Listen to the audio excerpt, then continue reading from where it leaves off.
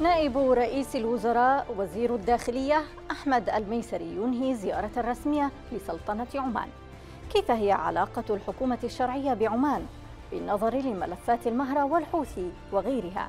وماذا وراء الحضور المكثف لمسقط في الأزمة اليمنية مؤخراً؟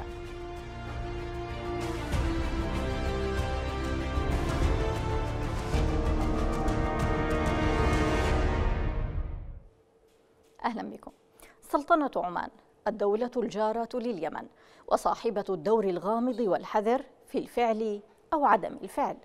مؤخرا شهدت حراكا سياسيا مكثفا فيما يخص الأزمة اليمنية سواء في ملف المهرة التي تتقاطع فيه مصالح العمانيين والسعوديين أو في ملف الحوار مع ميليشيا الحوثي. الخط الذي تتبناه السلطنة منذ بداية الحرب وتؤوي لديها قيادات حوثية بارزة.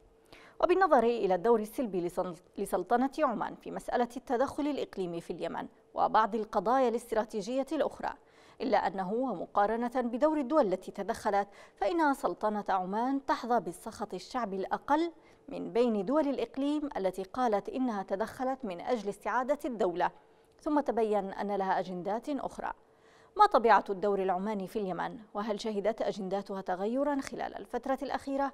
هل هناك تقارب سعودي عماني حول الملفات اليمنية أم أن ما حصل مؤخرا محصور فقط بالتقارب السعودي الحوثي؟ بشكل رسمي أو غير رسمي فسلطنة عمان حضرت مؤخرا بصورة أكبر في الأزمة اليمنية. بالأمس عاد إلى المهرة نائب رئيس الوزراء وزير الداخلية أحمد الميسري من زيارة رسمية للسلطنة. امتدت لأسابيع. التقى فيها مسؤولين عمانيين وسفراء الدول الكبرى. قال الوزير إن هذه الزيارة جاءت بناء على توجيهات الرئيس هادي لبحث عدد من الملفات. منذ بداية حرب التحالف في اليمن اختارت عمان النأي بنفسها عن التدخل في اليمن عسكريا. الأمر الذي فسره البعض بأنه موقف محايد من الأزمة في اليمن فيما رآه البعض الآخر دعما غير مباشر لميليشيا الحوثي بحكم العلاقات الاستراتيجية بين مسقط وطهران. أواخر العام 2017 استخدمت الرياض قوة عسكرية كبيرة إلى المهرة المحافظة التي تعد بالنسبة لمسقط امتدادا لأمنها القومي في اليمن. يرى البعض أن حضور السعودية المكثف في المهرة عبر استخدام شرعية الرئيس هادي يخفي وراءه مؤشرات صراع إقليمي بين السعودية وعمان قد يتحقق على أرض يمنية. أبناء ووجهات المهرة الذين تربطهم مصالح تاريخية مع سلطنة عمان كانوا رأس الحربة في مهاجمة التواجد السعودي في المحافظة التي أشعلت الرياض النيران فيها. فيما يرى مراقبون أن حماية السلطنة لما تراه مصالحها الاستراتيجية في اليمن؟ لا ينبغي أن يكون على حساب السيادة اليمنية ومسار الدولة. في منتصف نوفمبر الماضي زار نائب وزير الدفاع السعودي خالد بن سلمان مسقط والتقى المسؤولين العمانيين ضمن جهود وصفها البعض بأنها في إطار التقارب السعودي الحوثي والتي تدعمه أيضا الولايات المتحدة. سياسة مسقط في اليمن يكتنفها الحذر والغموض ومحاولة إمساك العصا من المنتصف بين اللاعبين المحليين والإقليميين والدوليين لكنها في الوقت ذاته لم تعادي الدولة اليمنية بالشكل الذي يفعله من يزعمون أنهم حلفاؤها. إذا مشاهدينا الكرام في هذه الحلقة سيكون معنا الأستاذ نبيل البكيري رئيس مركز باب المندب للدراسات الاستراتيجية وسينضم معه آخرون عبر الهاتف. مساء الخير أستاذ نبيل. مساء النور لك مشاهدينا الكرام أهلا بك. أستاذ نبيل هذه الحلقة تحمل سؤالا بارزا دعنا نفتتح به الحلقة وربما هو سؤال كبير. ما هو دور سلطنة عمان في الملف اليمني؟ دور عمان في الملف اليمني هو دور آه، ليس فاعلا بقدر ما هو حاضرا في الملف اليمني لكن ليس آه، بذلك الفاعلية التي كان ينبغي أن تكون عليها منذ البداية. عمان باعتقادي حتى هذه المرحلة وقفت آه، على امتداد سنوات الحرب موقفا آه، وسطا إلى حد ما. كان هناك فراغ في تواصل الحكومة الشرعية أو الجانب الرسمي اليمني مع السلطنة. صب هذا الفراغ في صالح الميليشيات الانقلابية التي آه، استطاعت أن تستفيد من هذا الفراغ من خلال آه، وجود سلطنة عمان كمنفذ آه، لهذه الميليشيات وتواصلها الخارجي. بقاء القيادات الحوثية في السلطنة أيضا كان جزء من هو تعبير عن إخفاق الحكومة الشرعية اليمنية في التواصل الدائم والمستمر مع عمان باعتبار عمان أيضا عمق استراتيجي للملف اليمني وللجغرافيا اليمنية بالنظر إلى الحدود المشتركة بالنظر أيضا إلى التاريخ المشترك الذي يربطنا بالسلطنة. وبالتالي وقفت عمان موقفا يعني يعني دعني أقول أنه كان موقفا وسطا إلى حد ما. لكن نتيجة لغياب أي تواصل مع الحكومة الشرعية و وعدم حضور مستمر ومتواصل للحكومة الشرعية هذا كله صب في صالح يعني وجود ميليشيات الحوثي في عمان وتواصلها مع عمان وأيضا باعتبار عمان أيضا تمتلك علاقات استراتيجية مع الجانب الإيراني وهذا كله صب في صالح نعم. يعني صورة أو ما صب في صالح الانقلابيين في هذه المرحلة. نعم لكن الفترة الأخيرة ربما تغير موقف عمان طبعا. تجد أنه أكثر فاعلية أو أكثر حضورا من السابق؟ عمان أنا باعتقادي أنه تجربة الخمس سنوات الماضية يعني شكلت رصيد فيما يتعلق ببناء ثقة كبيرة. لدى الأطراف اليمنية كلها. صحيح أنه قد يقول البعض أنه يعني توفيرها ملاذ لجماعة الحوثي أو نقطة عبور إلى الخارج سيجعلها الطرف غير حيادي. أنا باعتقادي عمان أيضا لا ترفض وجود الجانب الحكومي الشرعي في عمان وسهلت مرور اليمنيين بشكل كبير أيضا ومسؤولين يمنيين يذهبون ويعودون عن طريق العاصمة العمانية مسقط وغيرها من المدن العمانية. وبالتالي عمان حاولت أن تكون وسطا إلى حد ما. آه، تحتاج عمان أيضا ولا يمكن الهروب من الدور العماني أو يمكن تغافل الدور العماني بالنسبة لأنه بالأخير عمان هي جار والجار هذا آه، يهم يعني من المهم جدا أن يكون هناك آه، خطوط تواصل معه معه وهناك أيضا تفاهمات مشتركة وفي هناك مخاوف مشتركة نعم لأنه جارك الأبدي في نعم بالضبط. يعني لا تستطيع بيوم أو ليلة أن يعني أن تغلق هذه الحدود و تصنع قطيعة معينة آه، مع هذا الجار. وبالتالي أنا باعتقادي أنه ربما كدولة خليجية عمان أنا باعتقادي هي الأقرب إلى أن تكون طرفا في الحالة اليمنية طرفا يستطيع الجميع أن يثق بقدراتهم وأن يثق أيضا بحياديتهم.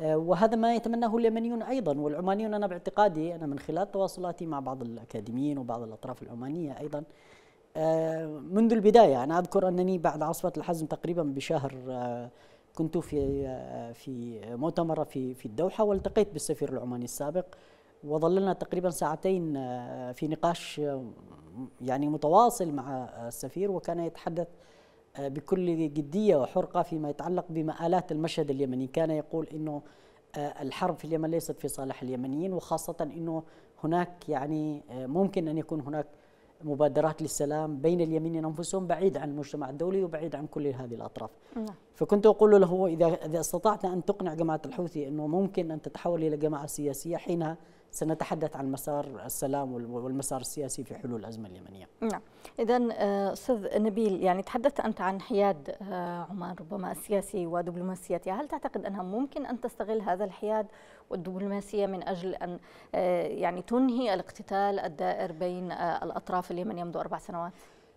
لا يخفى على المتابع في الملف اليمني يعني حساسية الملف اليمني بالنسبة للعمانيين نعم. آه العمانيين يعني يهمهم كثيرا استقرار اليمن يهمهم كثيرا انتهاء الحرب في اليمن لأنه هذا ليس في صالح العمانيين وخاصة أنه يعني آه, آه، هناك صراعات سياسية كبيرة بين الأطراف الخليجية نحن لا يمكن إغفال الصراع بين الإمارات وعمان ولا يمكن إغفال أيضا الحساسية السياسية والمذهبية بين الطرف العماني والطرف السعودي وبالتالي كل هذه الإشكاليات وكل هذه الحساسيات أيضا هي تجعل عمان أقرب إلى حل الأزمة اليمنية منها إلى الصمت أو حالة آه، اللامبالاة. لأنه بالأخير آه، أي انهيار لمنظومة الدولة في اليمن أو لما تبقى من الدولة في اليمن هو انهيار لمنظومة الأمن في عمان أيضا.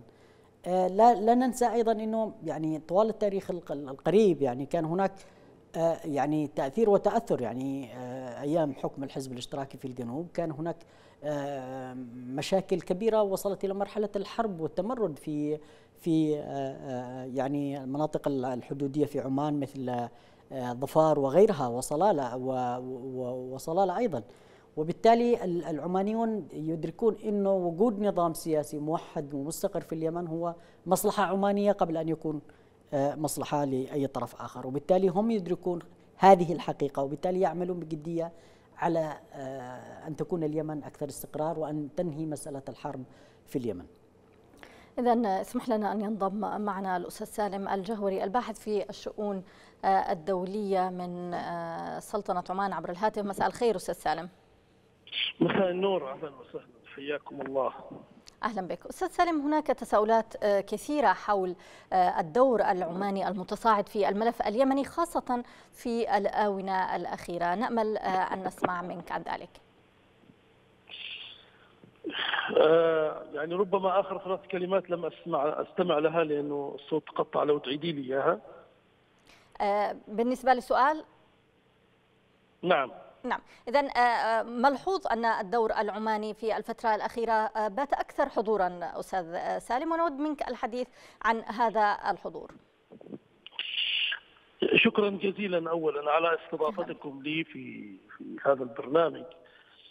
والحقيقة أن الدور العماني متواجد منذ بداية الأزمة اليمنية وما قبل ذلك يعني مع الأشقاء. هذا الدور يعني تمثل في أن يوجد حالة من التوازن بين الفرقاء في اليمن من خلال التواصل مع كل الفرقاء بهدف التقريب فيما بينهم وأيضا يعني وضع العديد من النقاط كمصلحة مشتركة وهو الدور الذي أيضا كان فاعلا في مجلس التعاون الخليجي وكان لعمان أيضا آه، بعض يعني بعض الاهتمامات حول آه، تقريب اليمن إلى مجلس التعاون إلى منظومة مجلس التعاون في السنوات التي يعني سبقت اندلاع الأزمة في في في اليمن. نعم. آه، تمثل في أيضا أو نجحت الجهود المشتركة أيضا سواء كانت من السلطنة أو من الدول الشقيقة الأخرى من دول مجلس التعاون في تواجد اليمن في عدد من آه، اللجان التابعة للأمانة العامة لمجلس التعاون الخليجي. وحقيقة كانت بداية يعني سعيدة للمواطنين في دول المجلس بأن اليمن سيقترب من هذه المنظومة. وهناك هدف يعني بعيد ربما أو أنه سيكون متوسط المدى في إمكانية أن يكون اليمن عضوا فاعلا في هذه المنظومة التي تشكلت في 1981 بإرادة ورغبة من أصحاب الجلالة والسمو في إيجاد هذا الكيان الذي يحمي مصالحهم الاقتصادية والعسكرية وأيضا الأمنية وكل ما يتعلق بحياة المواطن واستقراره في في في هذه البقعة. اليمن لم يكن بعيدا عن هذه الأماني لكن كانت هناك يعني بعض المعايير التي كان يعني يفترض أن يعني يستوفيها اليمن للدخول بشكل كامل ونهائي. كان هذا هو الهدف. لكن الأحداث الأخيرة التي حصلت في اليمن ربما أوقفت هذا المشروع ثم تدخل المجلس من أجل أن تكون هناك أيضا آلية للتصالح بين أبناء اليمن الشقيق. إلا أن ذلك بعد ذلك انفجر بشكل كما تعلمون آه، آه، مفاجئ وحصل الذي حصل. لكن الدور العماني بقى مستمرا وبقى نعم. لكن... التواصل سواء كان مع الحكومة الشرعية أو مع أنصار الله أو أي أطراف أخرى بهدف أن تكون عمان هي آه، آه، المحطة الحاوية لكل هذه الأطياف من أجل نعم أستاذ سلم لكن هناك ويلتقوا والعودة الدفع بالعودة إلى الحوار بين نعم. بين الأشقاء أستاذ سالم لكن هناك من يرى موقف عمان خاصة في بداية الحرب أنه كان موقف يعني يميل لميليشيا الحوثي وربما يعني يرى أيضا أنكم كنتم ممر للميليشيا وأن هناك تقارب حدث تقارب معهم أكثر من الجانب الحكومي.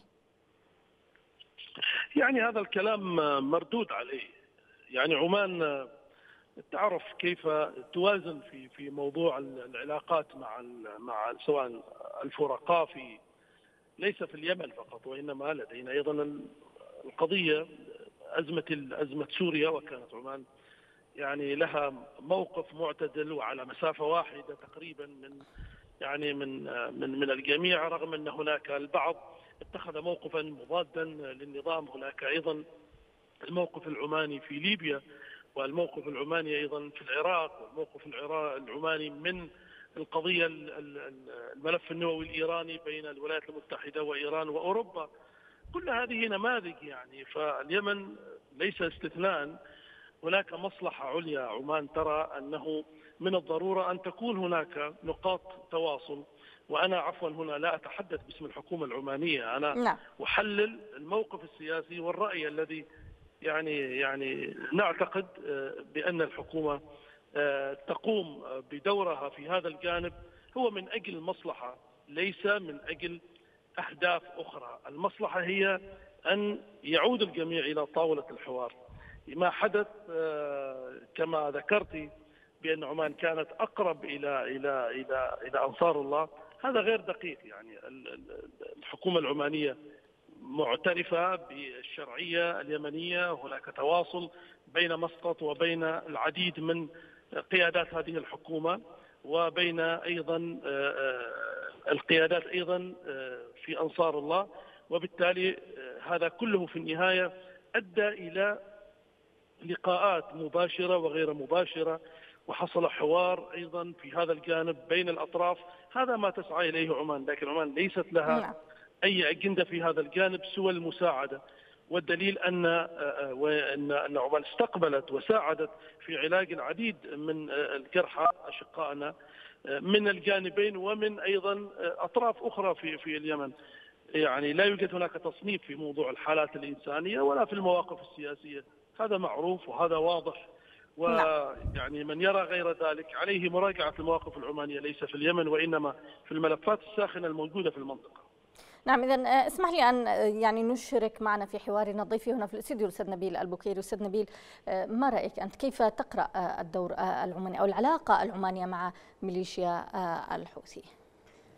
لا شك أنا قلت وتحدثت منذ البداية أنه كان هناك فراغ في التواصل من قبل الحكومة الشرعية، هذا الفراغ يعني لم يتمثل بعدم وجود سفير، بالطبع كان هناك سفير أو عينت الحكومة الشرعية سفيرا جديدا في السلطنة، لكن الإشكالية تكمن أنه يعني لم يبقى تواصل آه، مستمر على مستوى دائم وغير منقطع. وبالتالي هذا أدى إلى وجود فراغ. هذا الفراغ تمثل بوجود يعني أيضا آه، جماعة الحوثي آه، ووفدهم الخارجي مثلا بمحمد عبد السلام كان استخدم أو ظل في السلطنة بشكل دائم يعني متنقلا بين العواصم العالمية من خلال السلطنة. هذا أنا باعتقادي أيضا إنه هو راجع لطبيعة العلاقات العمانية التي تحاول أن توازن بين كل الأطراف اليمنية وبالتالي آه، نحن لا نستطيع أن نطالب العمانيين أكثر من ذلك بالنظر إلى العمانيين يعترفون بالحكومة الشرعية ولا يعترفون أيضا يعني آه، أو لم يتورطوا بالاعتراف مباشرة بجماعة الحوثي كجماعة آه يعني كسلطة أمر واقع موجودة. ولكنهم ظلوا يتعاطون مع كل الأطراف باعتبار الجوار وباعتبار أيضا محاولة أن تبقى عمان جسر تواصل بين كل الأطراف أو حالة وسطية بين الأطراف اليمنية. آه، الجانب المهم الذي آه، يعني البعض يتخوف منه هو أن هناك علاقات استراتيجية تربط السلطنة بالجانب الإيراني. وهذه العلاقات الاستراتيجية تحتم على عمان أن يعني ألا تقف موقف الحياد إلى إلى أقصى حد بالنظر إلى أن آه، آه، الإيرانيين يعني ينظرون إلى آه، عمان كحليف استراتيجي بالنسبة لهم وربما هذا الجانب هو الذي جعل في الصورة جماعة الحوثي تبدو أكثر ارتباطا بالسلطنة منها من ارتباط الحكومة الشرعية. بالتالي هذه هذه المخاوف أنا باعتقادي لم تختبر حتى الآن. ستختبر في حالة وجود يعني دخول عمان في الملف اليمني بشكل متكافئ وبشكل يعمل على إعادة الثقة بين الأطراف اليمنية وتواصلات الأطراف اليمنية آه، مع الجانب العماني. نعم، إذا ما رأيك أستاذ سالم يعني هناك مخاوف كما ذكر الأستاذ نبيل من العلاقة الاستراتيجية بينكم وبين آه، إيران وما تأثير تلك العلاقة على موقفكم من الحكومة الشرعية؟ العلاقة بين عمان وإيران ليست وليدة يعني هذه اللحظة هي علاقة ممتدة منذ يعني تولي السلطان قابوس آه، مقاليد الأمور في عمان منذ 1970 هذا في في العصر الحديث لكن هناك علاقات تاريخية قديمة يعني حصل فيها نعم وهذا ما يقصده الأستاذ نبيل يعني أن هناك علاقة استراتيجية حصل قديمة فيها نعم. يعني بيننا وبين إيران حصل هناك العديد من التوترات على مدى التاريخ وهناك كانت معارك وغزوات وكانت أيام سلم وكانت يعني متقلبة هذه العلاقة على ضوء يعني مصالح كل بلد لكن ما أريد أن أقوله لا علاقة يعني بين علاقة عمان بأنصار الله وعلاقة عمان بإيران. يعني قد يفهم البعض يعني ربما وهذا حق مشروع لأي إنسان أن يحلل في هذا الجانب. علاقة عمان مع أنصار الله هي علاقة تأتي في إطار الحرص على اليمن الواحد. وعلاقه عمان مع إيران هي علاقة دولة بدولة وهذه العلاقة فيها مصالح متبادلة ومشتركة بين الجانبين. وفي نظري أنه لا توجد ربما في المنطقة دولة مؤثرة آه، في في علاقتها مع إيران مثل عمان لأن الإيرانيون أيضا يدركون بأن عمان ليس لهم أجندة في هذا الجانب. وبالتالي آه، تلاقت المصالح مثلا بين إيران وبين أنصار الله لا يعني أن هناك دور لعمان في هذا الجانب العلاقة منفصلة والعلاقة مختلفة بين الجانبين آه، مع مع الإخوة أنصار الله مثلا في في في اليمن يأتي في إطار الحرص على وحدة اليمن والدفع نحو الحوار وهذا ما تريده عمان ويريده أيضا العديد من قادة أيضا دول المنطقة. آه، نعم. أما علاقتها بإيران هذه علاقة أخرى مختلفة علاقة الجار بالجار آه، هناك علاقة عمان تعرف كيف توازن علاقتها مع إيران وتعرف أين هي حدود يعني الصواب وأين حدود حدود الخطأ في في تشخيص هذه في تشخيص هذه العلاقة. وأنا أعتقد إنها علاقة ليست علاقة يعني منذ منذ سنوات وإنما هي علاقة ممتدة على مدى قرون بين بين البلدين. وكما ذكرت لك في التاريخ هناك تقلبات كثيرة في في في هذه العلاقة مرت سنوات ذات سلم ومرت سنوات ذات أيضا تصادم عسكري. وهذا يعني يعني يعني ما ما ما يحتويه التاريخ بشكل نعم. دائم بين الأمم وبين الدول وبين الشعوب. يعني لا يوجد صديق دائم ولا يوجد عدو دائم. إذا أستاذ سالم آه، ما هو آه، أبرز دوافع آه، السعودية والإمارات في التحركات الأخيرة والتوجه نحو مسقط؟ هذه التحركات ليست جديدة يعني هي أولا ترتكز على موضوع القناعات بأن ما قالته مسقط منذ سنوات من اندلاع الأزمة بأن لا يمكن أن يكون هناك حسم عسكري في اليمن. هذا موضوع يعني عمان تحدثت فيه وتحدث تحدثت فيه في أكثر من مناسبة.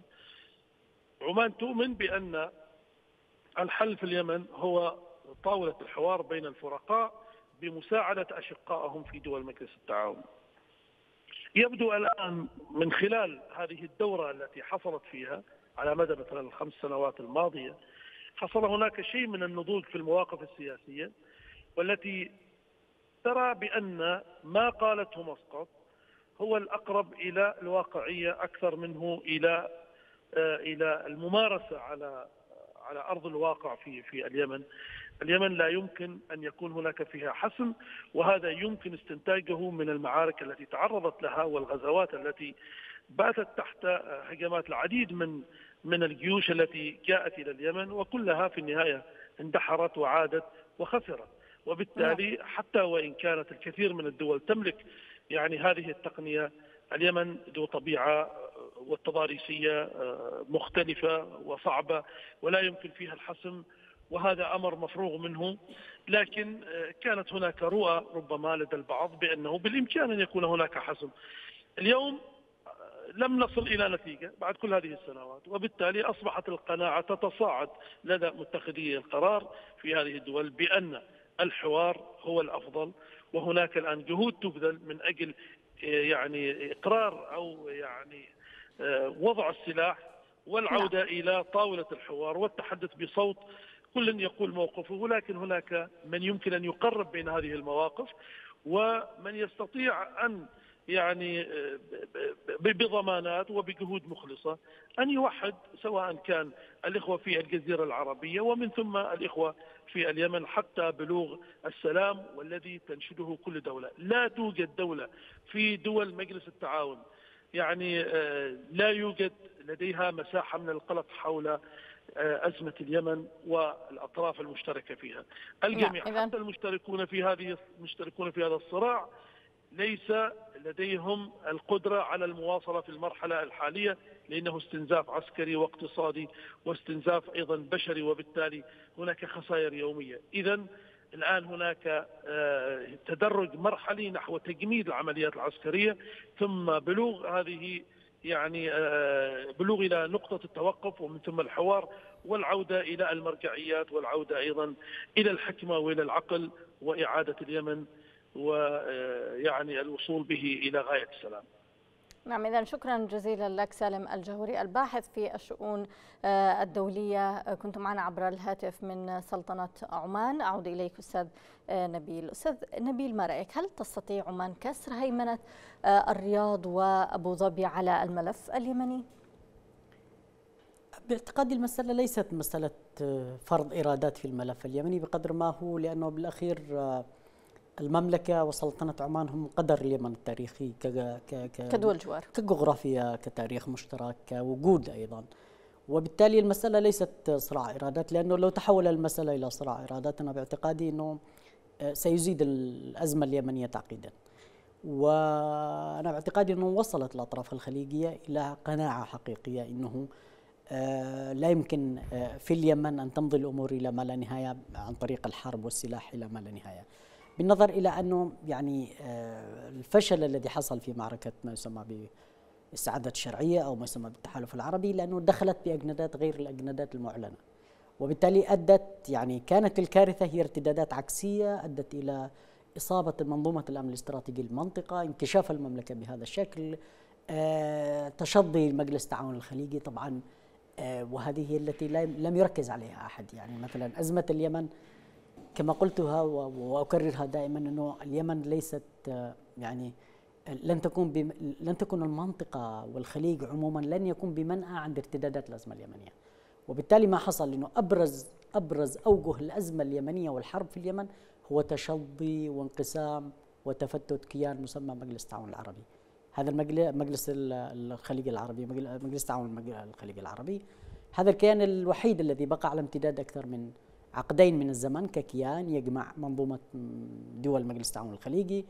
آه، بعد يعني فشل تجربة مجلس التعاون العربي اللي كان يضم العراق والأردن ومصر واليمن أيضا مجلس التعاون المغاربي الذي كان يضم دول مجلس التعاون المغرب العربي. بقى مجلس التعاون الخليجي آه، إلى أن جاءت الأزمة اليمنية تشظى هذا المجلس بفعل أنه ارتدادات الأزمة اليمنية آه، على المستوى هذا فقط على المستوى السياسي. أما على المستوى الأمني والعسكري أنا باعتقادي انكشفت منظومة الأمن لهذه الدول وخاصة المملكة التي تعتبر دولة آه، آه، مركزية في المنطقة تمتلك قدرات أمنية ومالية وعسكرية كبيرة وهائلة. وتحالفاتها الدولية التي تعتبر هي الأولى من حيث التحالفات والتربيطات مع مع القوى الدولية وبالتالي هذا الانكشاف هو نتيجة للإفراط والتفريط في الملف اليمني ونتيجة للفشل الذي حصل في الملف اليمني وعدم قراءة الأزمة اليمنية والعقدة اليمنية قراءة حقيقية ودقيقة وصادقة. وبالتالي اليوم أنا باعتقادي إنه عمان والمملكة العربية السعودية هما الطرفان المعنيان آه، بدرجة رئيسية بعيدا عن أي أطراف أخرى للحفاظ على ليس الحفاظ على اليمن وعلى أمنه ووحدته واستقراره فإنه هذا بالأخير هذه يعني مسلمة يمنية لا يمكن تجاوزها قد يحترب اليمنيون وقد يذهبون إلى معارك وقد يذهبون كما رأينا خلال خمس سنوات لكن بالأخير هذه مسلمات لدى اليمنيين. لا يمكن لأي طرف أن ينفرد وأن يقرر مصير أي رقعة أو أي جغرافية من الجغرافيا اليمنية شمالا أو جنوبا شرقا أو غربا. بالأخير هذه الكتلة الجغرافية التاريخية هي امتداد تاريخي وهوية واحدة. لا يمكن بحال من الأحوال الذهاب إلى آه، آه، آه، الاستفراد بقرار بطرف آخر.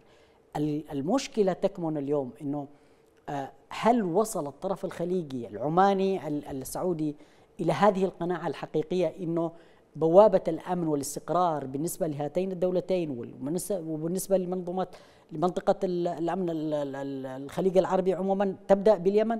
إذا وصلوا لهذه القناعة سيعملون جاهدين على الخروج من هذه المأزق من خلال معالجة هذه الإخفاقات الكبيرة التي حصلت من خلال إسقاط شرعية في اليمن من خلال أيضا هذه الكتلة من الفوضى والعبث الذي تمثل من خلال السياسات التي ارتكبت في اليمن من قبل الأطراف الخليجية. إذا نسمح لنا أن ينضم معنا أيضا عبر الهاتف الأستاذ مختار رحبي مستشار وزير الإعلام. مساء الخير أستاذ مختار.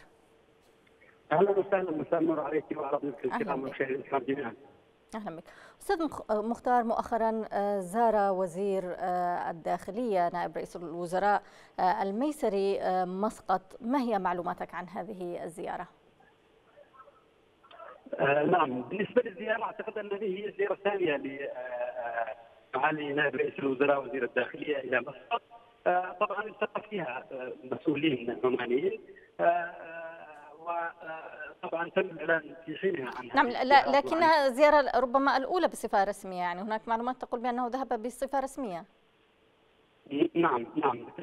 في الزياره السابقة نعم كانت زيارة رسمية وتم الإعلان عنها في حينها. آه، آه، مسقط أنا أعتقد أنها في آه، هذه الفترة وفي هذه الآونة الأخيرة خصوصا عند الحديث عن الحل السياسي وعن الوصول إلى حلول وانهاء اليمنيه تكون حاضرة وبقوة بحكم أن مسقط آه، آه، طبعا ليس لديها آه، مواقف قادمة من أي طرف من الأطراف وأيضا هي موقفها معلنه وليست لديها أي اجهزه في اليمن، بالتالي مسقط بإمكانها أن تلعب دورا محوريا في انهاء الازمه وفي تقريب وجهات النظر، بالتالي يأتي من خلالها تبادل الزيارات وليس فقط للمسؤولين اليمنيين وأيضا هناك مسؤولين آخرين يعني نائب وزير الدفاع السعودي زارها ومسؤولين أمريكان.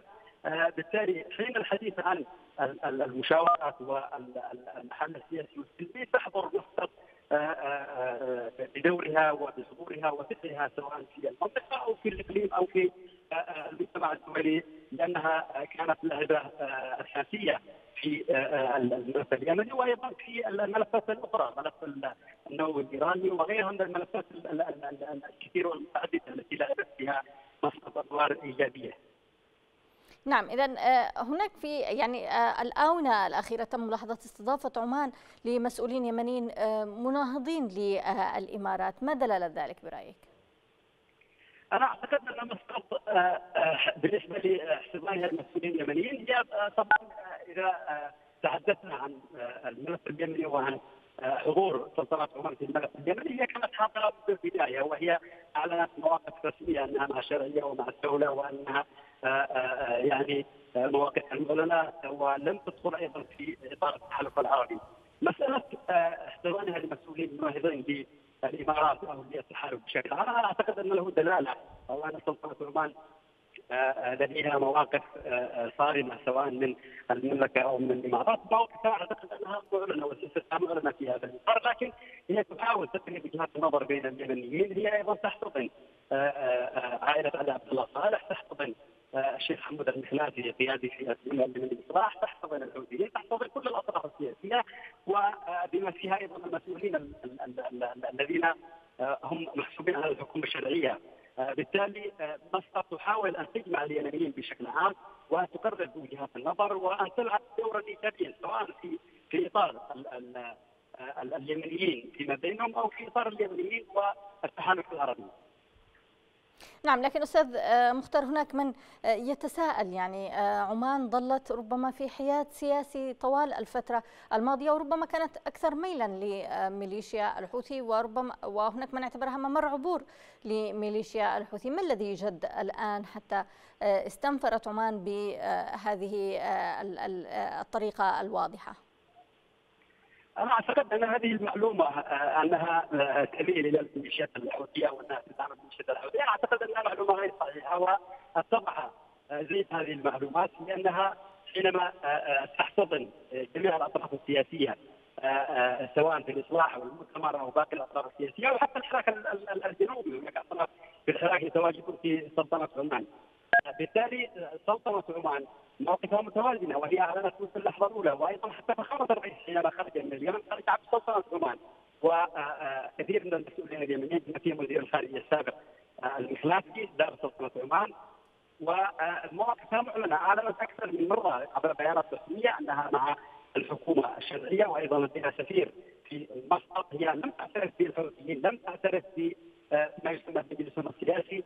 هي فقط آه، آه، لعبت أدوار خلال المشاورات السابقة سواء جنيف أو الكويت أو أو, أو أيضا حتى ستوكهولم كانت تلعب ادوار في محاولة تقريب وجهات النظر وهي تأتي دعوات رسمية من الأمم المتحدة، بالتالي مواقفها هي المعلنة نحن نتعامل مع المواقف المعلنة وهي أن سلطنة عمان مع الحكومة ومع الدولة وأيضا هي ضد الحرب وتريد إنهاء الحرب بالطرق السياسية والسلميه وهذا طبعا وجهة النظر وهذه سياسة السلطنة أنها لا تدخل في أي صراعات ولا تدخل في أي حروب.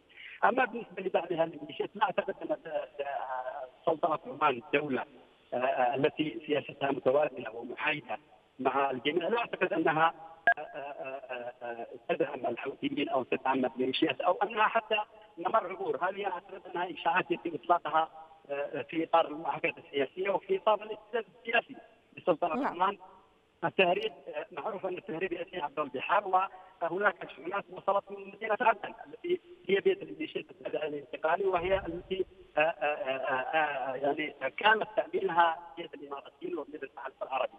بالتالي نستطيع نقول أن دور سلطنه عمان يمكن استغلال هذا الدور وهذا النشاط الكبير لمسقط في الازمه اليمنيه من خلال تقريب وجهات النظر ومن خلال الذهب بعمليه السلام والعودة للمسار السياسي الذي يضمن عودة الدولة وإنهاء الانقلاب ونزل سلاح الميليشيات وعودة الدولة لممارسة عملها ومهامها في اليمن. نعم. إذا آه، يعني انطلقت الكثير من الدعوات لتشكيل جبهة آه، وطنية للدفاع عن الجمهورية أستاذ مختار آه، كما يبدو عمان حاضرة في هذه الدعوات برأيك ما هي مصالحها من هذا التدخل وألا يؤثر ذلك على علاقتها بدول الجوار؟ سلطنة عمان تحتفظ بعلاقات كبيرة وقوية مع دول جوارها سواء المملكة والإمارات وغيرها من الدول الخليج تلعب دائما أدوار محايدة سواء في الازمه الليبيه أو أيضا حتى الخليجية التي عصفت في التعاون الخليجي وكان لها أدوار إيجابية. بالتالي الاثارات اليمنية أو نشاط المقصد في الازمه اليمنية هو يأتي من خلال لعب أدوار إيجابية لإنهاء الازمه في اليمن لأنه للأسف الشديد أن دولة الإمارات العربية المتحده لعبت أدوار سلبيه في اليمن ودعمت الميليشيات التابعه للمجلس الانتقالي ودعمت المجلس الانتقالي الذي هو بدون آه، آه، آه، بدون دعم الإمارات وبدون الرعايه الإماراتية وأيضا المال الإماراتي هو تفصيل من ضمن الفصائل الأخرى بل سيصبح حتى مثل جمعية أصدقاء البيئه وغيرها من الجمعيات البسيطة لا يشمل لا يشمل اليمنيه. نعم. بالتالي تحاول سلطنة عمان أن تدعم كل الأطراف السياسية اليمنية التي تلعب أدوار سياسية ولاحداث توازن في اليمن وهي ليست لديها اي نعرف دائما أن سلطنة عمان طوال السنوات الماضية ليس لديها أي اجهزه في اليمن وليس لديها أي اصناع في اليمن.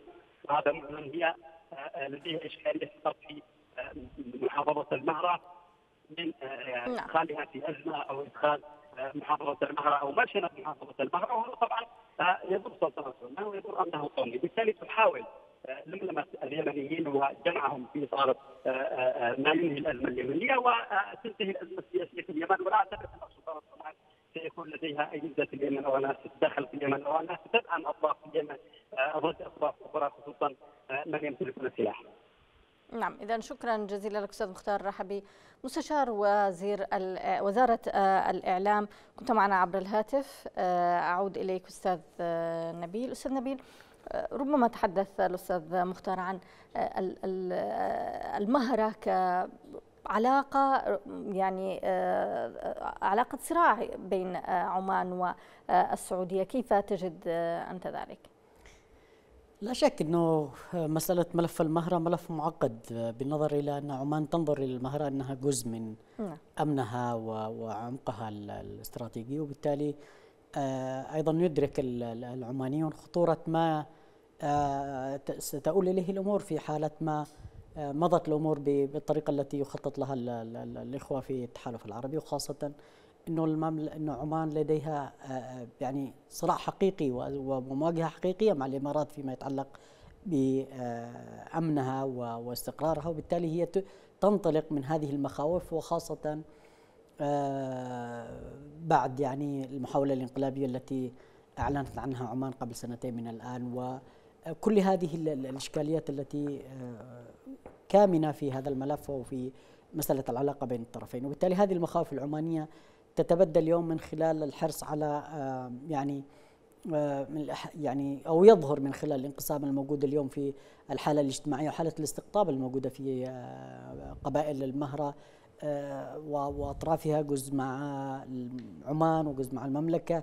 أنا باعتقادي إنه أيضا هذا الاستقطاب أيضا هو ليس في صالح الطرفين لا بصالح المملكة ولا بصالح العمانيين ولا في صالح اليمن لأنه بالأخير هذا الاستقطاب سيؤدي إلى اقتتال داخلي وسيؤدي إلى حرب أهلية بين القبائل اليمنية وبالتالي آه، لن تتوقف هذه الحرب عند مستوى الصراع بين هذه الأطراف اليمنية إنما ستمتد خارج آه، آه، هذه الحدود وستؤدي إلى تعقيد الأزمة بشكل أكبر. وبالتالي الحل يكمن ليس في مزيد من الاستقطاب وليس في مزيد من التخندق وراء أو تخليق حالة صراع في الملف المهرة وإنما من خلال إعادة ضبط سلطة الحكومة الشرعية أو إعادة تمكين الحكومة الشرعية من أداء مهامها وواجباتها في هذه المنطقة وغيرها من المناطق اليمنية ابتداء من العاصمة آه، عدن وليس انتهاء بالمهرة وغيرها. وبالتالي أنا باعتقادي أنه يعني حالة الفوضى اللي موجودة اليوم حالة الاستقطاب ليست مصلحة عمانية ولا مصلحة سعودية وإنما المصلحة تكمن في استعادة الدولة اليمنية استعادة الحكومة الشرعية لأدائها في هذه المنطقة وبالتالي هذا هو فقط المدخل الوحيد لفهم الملف اليمني المدخل الوحيد لكل نعم. هذه الحلول والهروب من حالة أو تجنبا وتفاديا لحالة الانزلاق إلى مرحلة الحرب والصراع بين هذه الأطراف. إذا أستاذ نبيل كيف تقرأ عن دوافع تحركات السعودية والإمارات آه، وزياراتهم آه، الأخيرة والملحوظة لمسقط؟ أنا باعتقادي أنه يعني في أحسن الظن أنه هذا إدراك متأخر لتعقيدات الملف اليمني. نعم. ويدرك الطرفان أو تدرك السعودية جيدا أن عمان فاعل رئيسي في الملف اليمني. آه، على الأقل في الملف في المناطق يعني الملتهبة مثلا في المهرة وغيرها. آه، وأيضا تدرك أيضا أن عمان آه، ربما احتفظت بمسافة إلى إلى حد ما تعتبر وسطا بين كل الأطراف اليمنية وأنه ربما يعني بعد خمس سنوات اتضح لهم أن عمان استطاعت أن تدير الملف السياسي في علاقتها مع الحكومة الشرعية. والإنقلابيين والأطراف الإقليمية والدولية بطريقة جيدة. فربما يرون أنه وجود عمان اليوم أو الاعتراف بالدور العماني في الحالة اليمنية هو مقدمة لحلحلة هذا الملف. لكن إلى أي مدى سيصدق مثل هذه القراءة بالنسبة لهم أو مثل هذا التوجه؟ أنا باعتقادي هذا لا يمكن التنبؤ به من خلال إنه ليس هناك مؤشرات جيدة حتى الآن فيما يتعلق بالملف اليمني عموما وليس فقط بالملفات المجزأة سواء فيما يتعلق بالمهرة أو غيرها من الصراعات الموجودة حاليا. نعم. إذا آه، يعني آه، آه، عمان والسعودية والإمارات هل تجد أن هناك يعني إرادة حقيقية لحل الملف أم أنه مجرد تقاسم نفوذ؟ حتى الآن لا توجد أي, أي, أي, أي لا نستطيع أن نبني على ما يتم أن هناك إرادة حقيقية للحلحلة نعم. حلحلة الملف اليمني يعني هو نوع من الهروب ونوع من عدم القدرة على مواجهة مرارة الفشل الذي حصل في الملف اليمني لكل هذه الأطراف وبالتالي هم يعني محاولة لعب أدوار أو محاولة إيجاد يعني أو النظر إلى اليمن على أنها عبارة عن كتلة أو غنيمة يمكن تقاسمها ككعكة أنا باعتقادي هذه النظرة قاصرة ونظرة كارثية إذا إذا إذا إذا صحت مثل هذه الرؤية بالنسبة لي وصحت لدى هذه الأطراف أنها تنظر لليمن بهذا الشكل أنه مناطق ممكن انتزاع منها مناطق نفوذ لهذا الطرف وذاك. وبالتالي أنا باعتقادي أنه إذا كانوا يفكروا بهذه الطريقة فأعتقد أنهم لم يفهموا آه، الأزمة حتى الآن وأنهم آه، بصدد مزيد من التعقيد للملف اليمني وبصدد مزيد من الفشل والإخفاق الذي لا نتمناه لأنه لن يقف هذا الفشل والإخفاق عند مستوى الاقتتال والصراع والاحتراب الداخلي في اليمن وإنما سيمتد آه، آه، يعني إلى خارج الحدود لأنه بالأخير أنت يعني ما أصبح ما أمسى بدارك سينتقل إلى جارك بالضرورة. وهذه نعم. قاعدة في في العلاقات الاجتماعية والعلاقات الدولية. يعني منظومة الأمن الاستراتيجي لهذه الدول تبدأ بأمن واستراتيجية بأمن واستقرار الجار قبل قبل هذا الطرف. وبالتالي أنا باعتقادي إنه هذه التعقيدات أو هذه الأزمة يفترض إنه الدرس كان قاسيا وافترض أن الرسالة وصلت إلى هذه الأطراف أنه لا يمكن لهم أن أن يظلوا في أمن واستقرار وأن يكونوا بمنأى عن تداعية الأزمة اليمنية ما لم يسارعوا لمساعدة اليمنيين لحلحلة هذه الأزمة واستعادة دولتهم بكل الطرق التي ممكن الوصول إليها في سعادة الدولة اليمنية. نعم إذا شكرا جزيلا لك نبيل البكيري رئيس مركز باب المندب, المندب للدراسات آه، الاستراتيجية. كنت معنا في هذه الحلقة من المساء اليمني. أشكركم أيضا مشاهدينا الكرام لحسن متابعتكم. إلى أن ألتقيكم في مساء من جديد. كونوا برعاية الله وأمنه.